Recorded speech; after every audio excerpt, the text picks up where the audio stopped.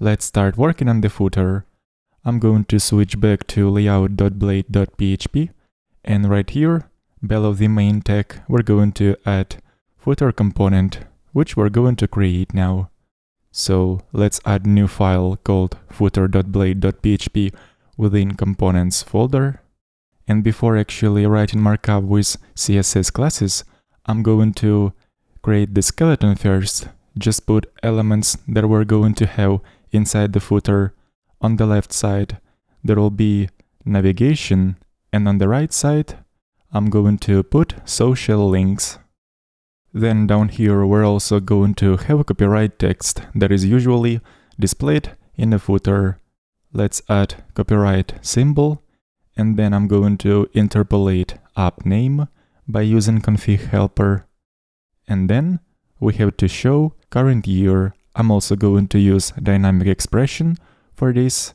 We can call date function that is going to return current year if we'll supply capital Y argument like this.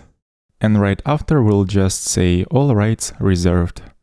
Let's switch back to the page and see if all these elements are shown. And they are all here. As the next step will show up all navigation items. So let's go back to the nav component. Let's copy this array of navigation items and paste it into footer component. But this array will contain a couple more elements, such as pages, terms, and privacy. And actually, footer navigation will not have login and register links. So let's remove these two entries from here.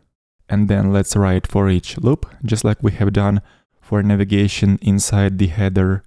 Let's iterate over array of items, and then we'll receive page address into href variable and page name into label variable and then we're going to pass the address into href attribute of this link. And the label variable will be used as the content for this link, like so. But if now we're going to check result in a browser, we'll see the following error. That is because we haven't yet defined roads for new pages, terms and privacy.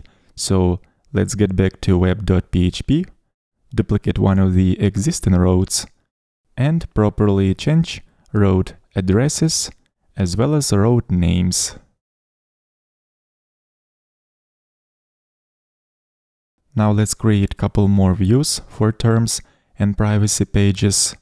These pages will include layout component and some specific content. Just to differentiate these two pages, I'm going to put different words inside the layout like so. And at some point in the course we're going to populate all the pages with proper content. Now in the browser we can see that terms page as well as privacy page work fine and we see all navigation items inside the footer. Now it's time to add some classes to make this look prettier. So for the link element let's add the following classes. Let's make font bold.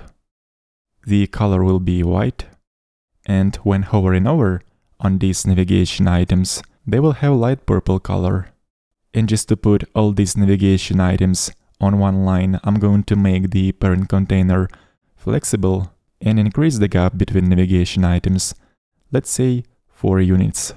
And the footer is going to be violet, so let's add bg violet 600 class.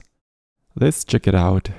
And just to move social links to the far right of the footer, let's make the wrapper element that wraps navigation items as well as social links flexible container. First of all, we'll add class flex, then to center elements vertically, let's use item center class. The minimum amount of space between child elements will be 8 units, and to keep navigation items and social links as far as possible in the footer, let's add justify between class that is going to set CSS property justify content with the value space between. And there we go. Now, in order to increase space in between navigation links and copyright text, I'm also going to make parent container flexible where elements will flow vertically as a column, and spacing between the elements will be 8 units. That is the spacing between navigation items and copyright text. And in the browser we can see that the spacing was increased. Now let's restrict the width of the footer so it will not stretch all the way to fill the full width of the window. Let's restrict the width by using container class. And also I'm going to add some paddings. Vertical paddings will be 10 units and horizontal paddings will be 4. This way we're gonna have a little bit more room in the footer. And as I'm going to increase or decrease page width, the footer width will always be aligned with the header width, because both of those elements are contained within the container. As for this copyright text, now we're gonna move it in the center of the footer and make this text white. So let's also decrease font size, make it small, and the color will be not completely white, but very light violet. And finally, to center the content inside this paragraph, let's assign text center class. And there we go, we are seeing the expected result. Now back to these social links.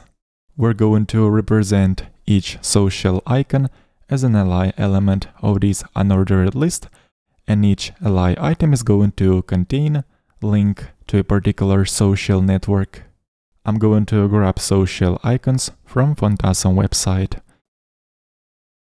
In here let's copy an SVG of an icon and put it inside this link. And before actually adding the rest of social icons, let's firstly assign some classes to this icon. So I'm going to restrict the width and height of this icon.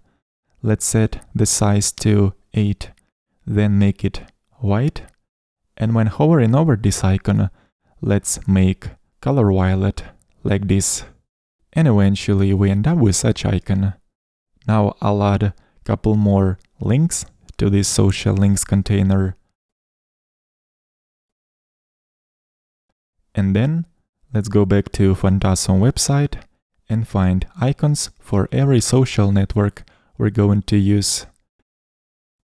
I'm going to fast forward the video and search for the following icons. Telegram icon, GitHub icon, and X social network icon. And once all of these icons will be inserted onto the page, let's remove all these comments and take those classes we have used on the first icon and add them to every SVG tag so that all icons look the same. And here is the result. All icons are shown in here, but they are positioned vertically, and we need them to be positioned horizontally. So let's make this UL element flexible and increase spacing between every icon, set it to 4, like so. And there is a little mismatch in our markup for now because every link is contained within one li element, but we actually have to create li elements for each link. So I'm going to add a couple more li elements and paste particular links within each of those li elements. And after doing all this, we're getting the expected result. All we have to do is to actually assign proper URLs to these links. So let's use YouTube URL for the first link, the Telegram URL for the second one, GitHub URL for the third link. And finally, X social network URL for the fourth link. Let's also make sure that those links are clickable. I'll click on one of these and we are expected to be redirected to the proper social network page. And we are. Now that we are done with the footer markup, in the next lesson we're gonna refactor it a bit, so it will be more manageable and maintainable because at the moment the whole footer markup is stored within one file. Link to the source code of the project will be in the video description.